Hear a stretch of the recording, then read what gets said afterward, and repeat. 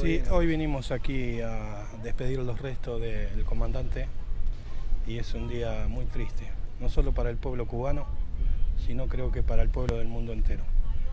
Se ha ido un líder que ha hecho y un hito, ha marcado un hito en la historia, no solo del pueblo cubano, sino del mundo.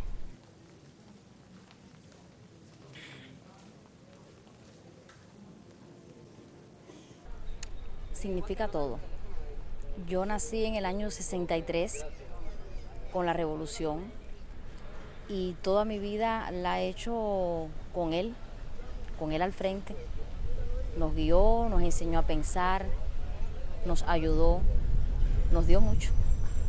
Will she miss